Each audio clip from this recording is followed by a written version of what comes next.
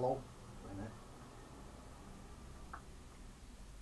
Now, when the early years of World War One were still seen as a bit of an adventure and a jolly jape to go over there and fight the Hun before the true horrors were known, a lot of um, influential posh people came up with various voluntary schemes and ideas.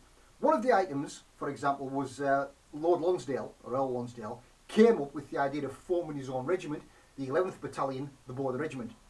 And there were other schemes just like that. One of the schemes that was uh, dreamed up was a thing by the 17th Earl of Derby. It was called the Derby Scheme, introduced in 1915. Um, it was a thing where civilians could put their name down on paper to volunteer to go abroad and fight the Hun, but when they volunteered, they weren't immediately sent out to the front. They volunteered, put the name down on the list, and when the time came, the 17th Earl of Derby went, right, it's time for you to go. You've put your name down. Away you go to fight the Germans in France.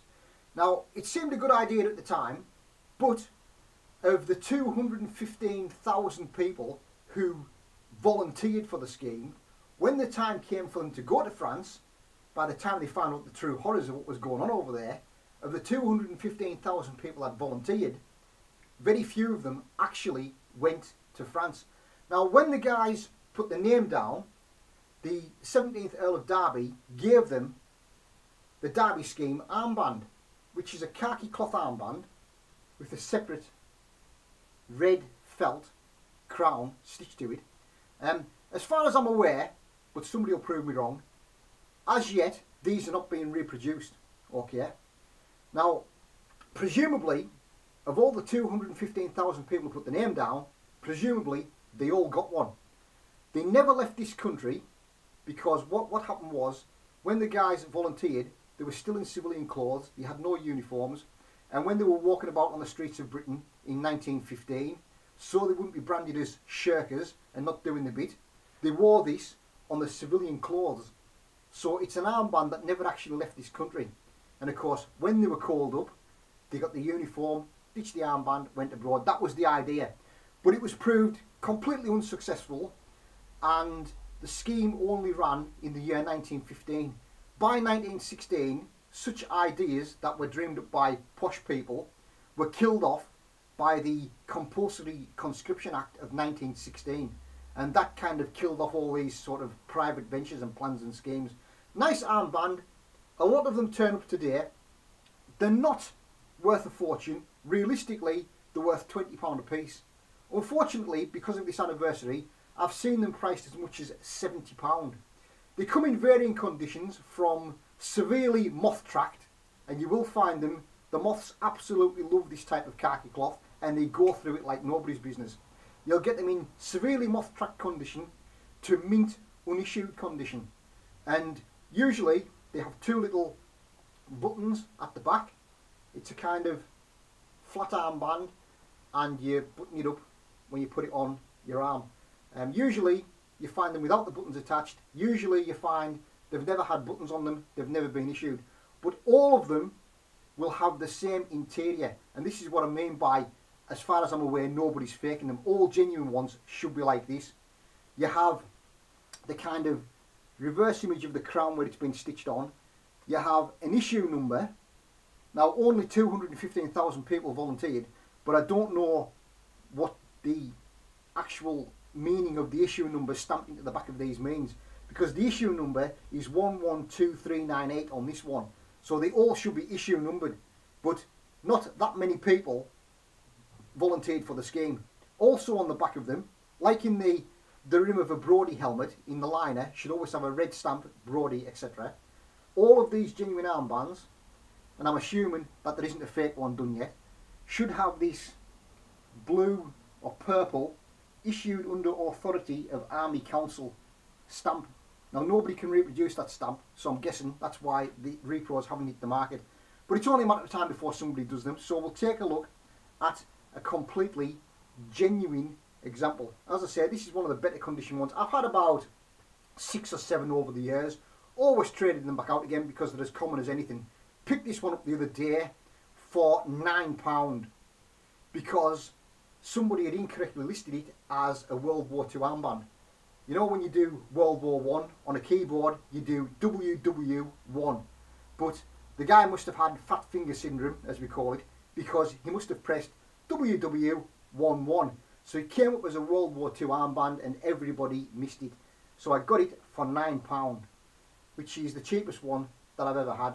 But as I said, they're not worth a fortune.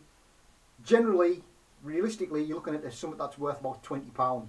But as I say, unfortunately, given this anniversary, I've seen them at the ridiculous price of up to £70 and they're certainly not worth that.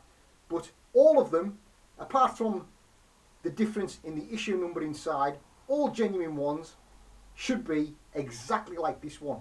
There is absolutely no variation in details. You know how you get variations of the World War II German organisation Todt armband and you get variations of various World War II German armbands.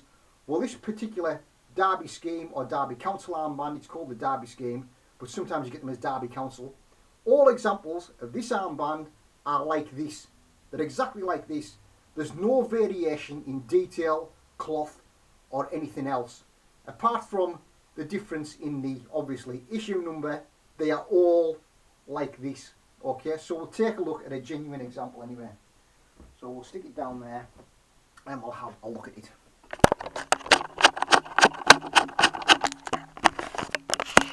So, this is the Derby scheme armband. Now, we'll just go through what it was about again. Now, the Derby scheme was a voluntary recruitment policy in Britain created in 1915 by Edward Stanley, the 17th Earl of Derby. Now, Derby is a place in Britain. The concept behind the Derby scheme was that men who voluntarily registered their name would be called upon for service only when necessary. Married men had an added incentive in that they would be advised they would be called upon only once the supply of single men was exhausted. Now, the scheme was also referred to as the group system, as men were classified in groups according to the year of birth and marital status, and were to be called with the group when it was required.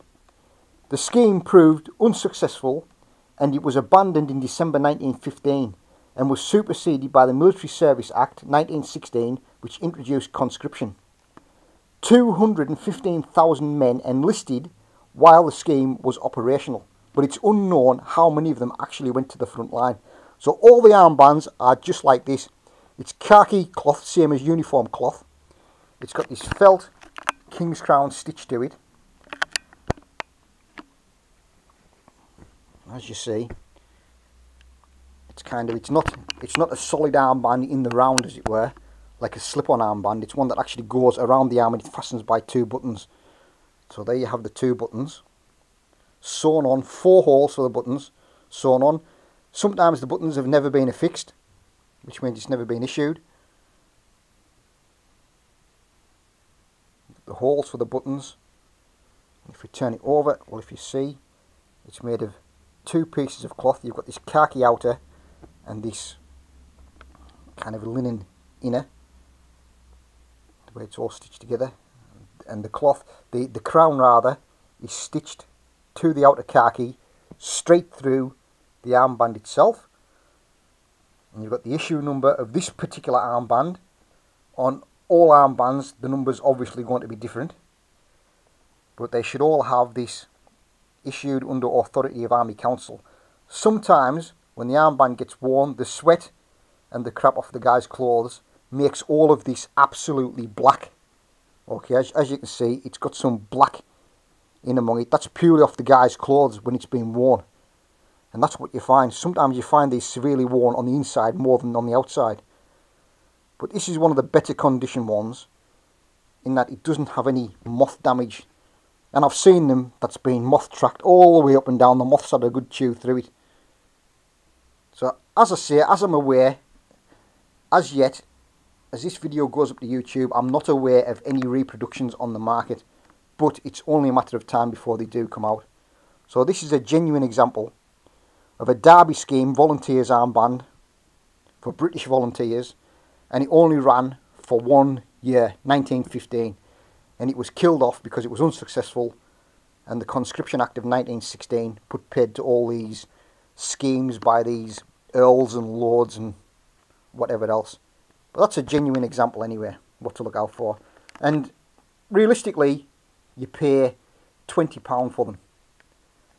So in the, in the present uh, centenary thing, don't be, you know, don't be conned into the hype of paying too much money for World War One items, because a lot of people currently are paying far too much for items because of the centenary. So anyway, that's a genuine example of a Derby scheme or Derby Council armband